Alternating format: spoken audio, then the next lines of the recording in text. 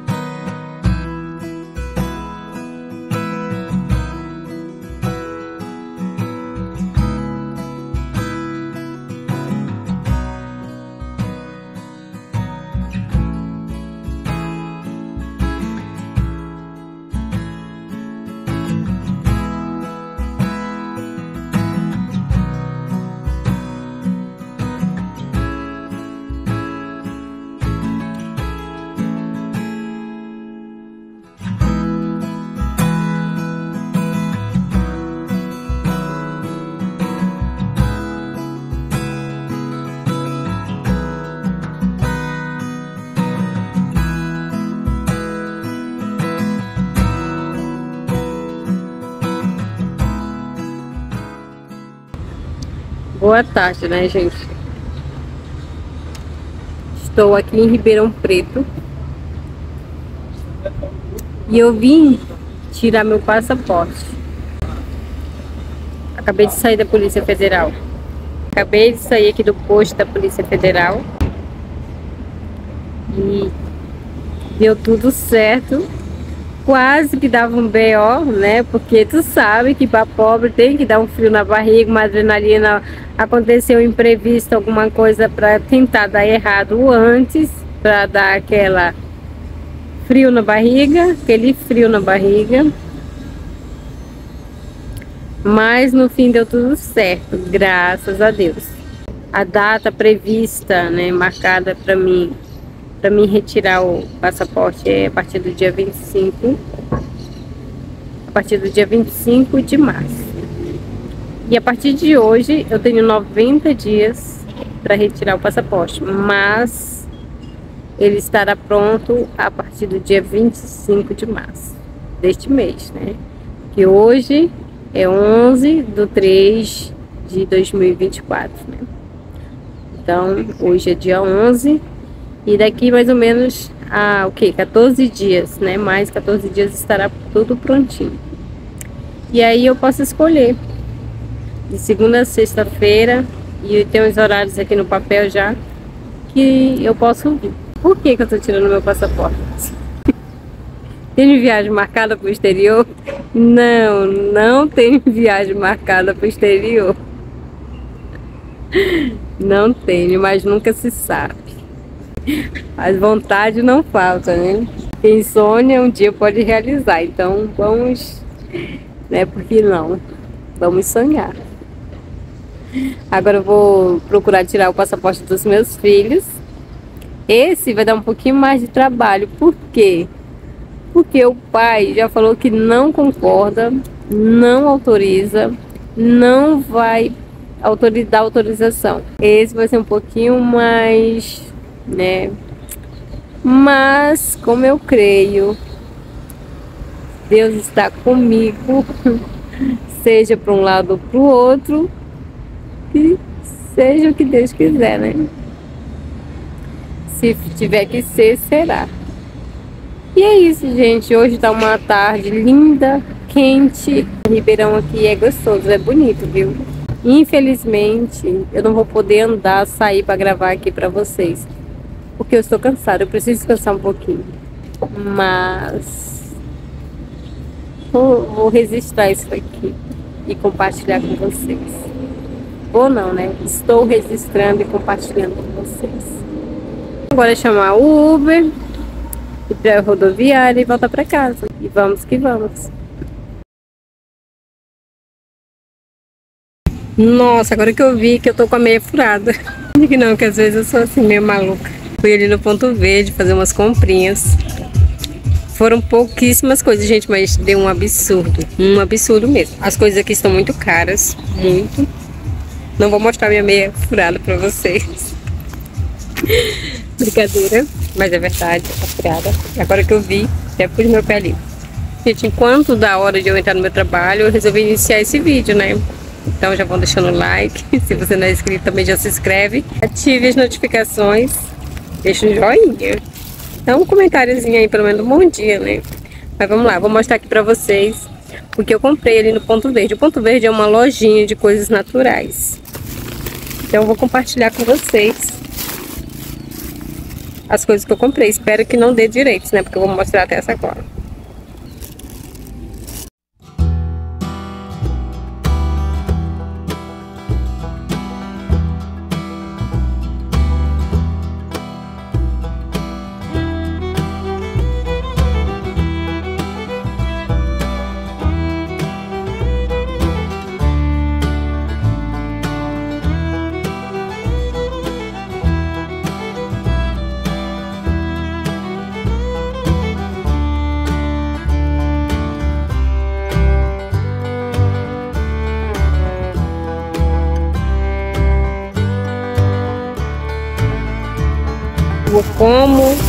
Só sentei aqui na praça.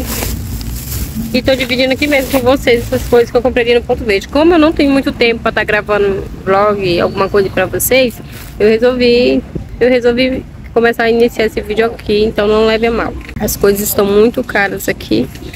Não só essas coisas, gente. No supermercado as coisas estão absurdas. No hortifruti, verdura, legumes, tudo muito caro. E eu Comprei essas coisas porque eu já estou sem. E também, eu acho que vocês perceberam, né? Gente, eu aumentei 6 quilos. Eu sou baixinha, então pra mim 6 quilos é muita coisa. Então eu aumentei 6 quilos. 6 quilos que eu não poderia ter. Aumentei 6 quilos que eu não poderia ter aumentado esses 6 quilos.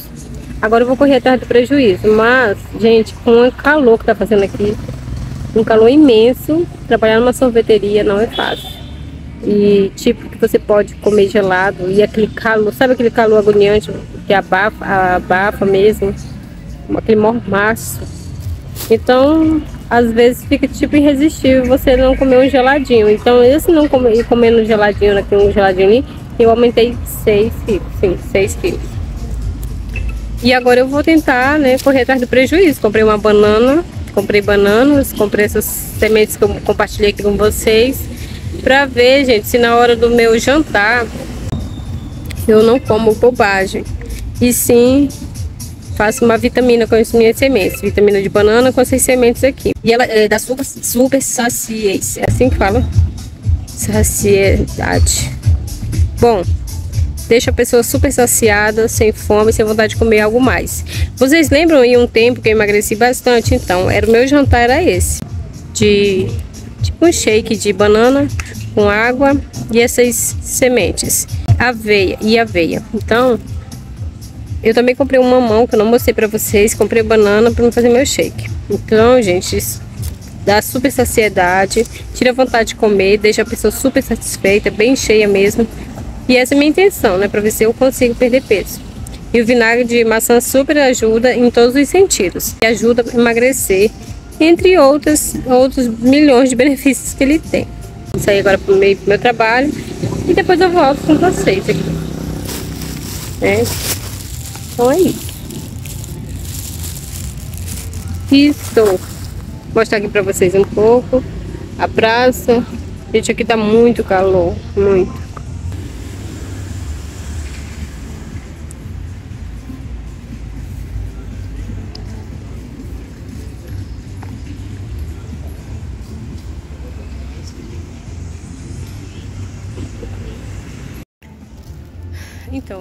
Resolvi dar continuidade aqui no vídeo por enquanto, porque ainda faltam alguns minutinhos. Eu vou fazer um comentário aqui com vocês a respeito é, dessa cidade aqui que eu moro. É uma cidade pequena, no interior de São Paulo.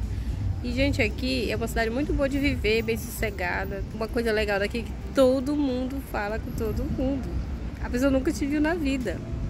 E te, te cumprimenta, pergunta se tu tá boa. E, tipo, eu acho isso legal. E é todo mundo. Aqui tu não sabe quem é rico, quem é pobre, porque as pessoas são pessoas simples, humildes, pessoas assim que todo mundo se fala com todo mundo. Onde entra o pobre, entra o não pobre, né? O mais ou menos, da classe média, classe alta. Aqui é assim. E uma coisa também bem legal dessa cidade é que as pessoas aqui ainda não são todas, né? Mas ainda há pessoas de confiança aqui. E, por exemplo, Aqui é muito comum tu ir em um lugar e tipo, tu não tem cartão de crédito e a pessoa parcela no boleto, nunca nem te viu. Não sabe nem onde que tu mora, só pelo que tu fala. Então as pessoas parcelam no boleto para tu, tu vai pagando como tu pode. Aqui é um lugar de muita facilidade. Por exemplo, se tu vai tirar tua CNH, é 3 mil reais. Eu fui me informar porque eu tô tentando tirar a minha, né? Eu vou tentar tirar a minha, mas agora eu não posso, porque tem que ter as aulas e eu não estou com tempo para fazer as aulas. E as aulas são à noite, e à noite eu trabalho, então não tem como, por enquanto, né? Então, tu vai tirar teu, teu CNH, tem toda uma facilidade, você vai pagando como você quer, sabe? Eles fazem tudo para te ajudar. E quando eu fui comprar meu óculos, a moça nunca tinha me visto na vida, na loja onde eu fui, mas ela parcelou tudo, paguei tudo certinho. E viramos, fizemos amizade para viver assim, né? De cliente e, e, cliente, né? Mas tem toda uma facilidade aqui, aqui ainda é bom nesse sentido, sabe? Isso, eu acho isso muito bom, muito legal. Mas não, não é porque ainda há muito disso aqui que você também pode confiar toda direito em todo mundo, né? Todo mundo fala com todo mundo, com você. Às vezes tem pessoas que falam comigo que eu nem sei quem é. Agora mesmo um pouco passou aqui, oi, tudo bem? Tudo bem. sei quem é, nunca vi, sei o nome, nada. Mas isso é bem comum aqui, então não estranho. E outra coisa é cumprimentar com um beijo no rosto. Né? Todo mundo se cumprimenta com um beijo no rosto. Oi, tá boa, tá boa. E, e é assim.